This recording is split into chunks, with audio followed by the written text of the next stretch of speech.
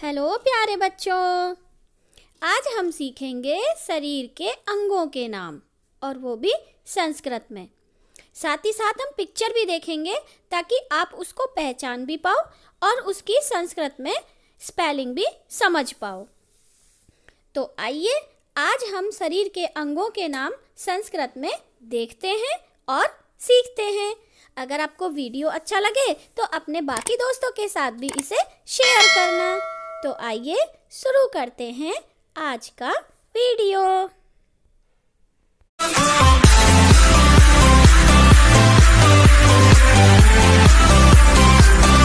Fourth class की संस्कृत की book, जिसमें शरीरस्य अंगानी करके नवा पाठ है। तो आज हम इसी के बारे में जानेंगे। देखिए सबसे पहले केशा। केशा मीन बाल। ललाटम मस्तिष्क, माथा। ललाट मीन्स माथा।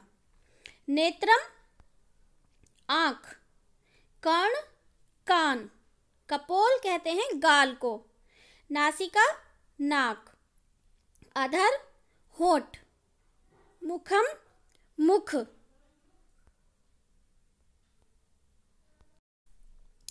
कंठ माने गला।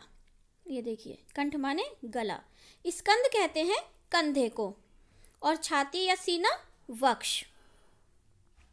हस्त माने हाथ, कटी माने कमर।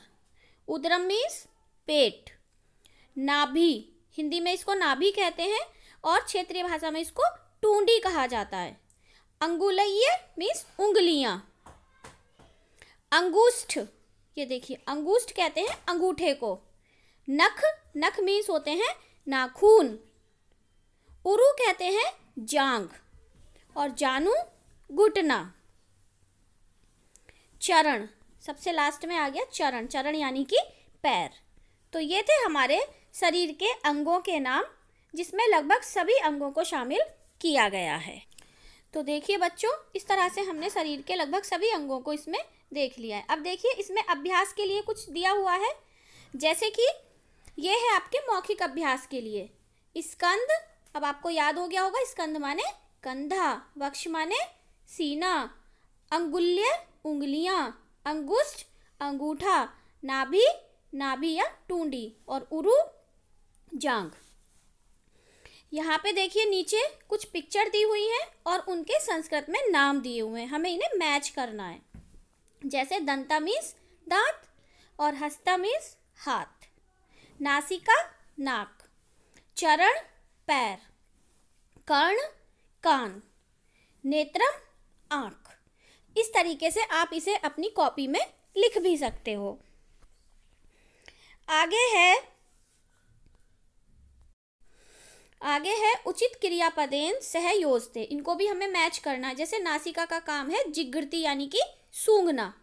कर्ण का काम होता है श्रणोती, यानी कि सुनना। मुखम का काम होता है वदती, यानी कि बोलना। मुख से हम बोलते हैं। और नेत्रम का काम होता है पश्यति, यानी कि देखना। तो इस तरीके से हमने यहाँ पर देख लिया है इस पूरे चैप्टर को। ये जो लास्ट इसमें क्वेश्चन है, चित्र रचियत। इसके चित्र बनाने, जैसे कि दंत है तो यहाँ पे दंत, दांत का चित्र बना हुआ है। कर्ण मीन्स यहाँ आपको कान का चित्र बनाना है नेत्र आँख का चित्र बनाना है नासिका। नाक का चित्र बनाना है। और यहाँ पे हस्त माने हाथ का चित्र बनाना है। हाथ। इस तरीके से हमारा ये अभ्यास कार्य भी पूरा हो गया और हमने शरीर के अंगों के नाम संस्कृत में भी सीख लिए।